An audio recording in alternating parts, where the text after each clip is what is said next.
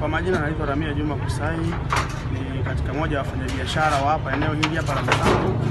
Kwa hiyo baada ya ajali ya moto kutokea, shoti ilianzia juu ya nguzo kule, ilipoanzia juu ya nguzo ndo ikaja mpaka kwenye kibanda hichi unachokiona.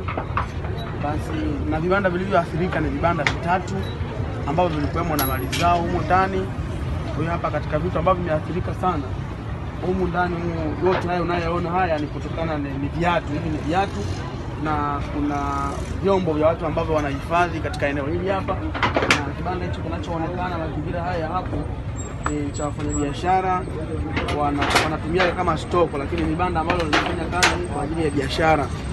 Na kibanda kingine hichi hapa kinachoonekana hichi hapa ni cha wafanyabiashara mwenzetu, anauza vifaa vya simu, kwa hiyo nacho pia kimepatwa na athari hiyo. Mkazi wa mji mpya. Sisi tulihifadhi vitu vyetu kubwa kwenye hilo banda ya ajali ya moto, ikiwemo machupa ya chai, vikombe vya udongo na sahani za plastiki pia na sahani pia za udongo zilikuwepo. Nilipo nilipopigiwa simu kwamba kuna moto, nikaja katika eneo la tukio nikakuta moto ushawaka tayari na vitu vyetu vilivyokuwepo vinaathirika.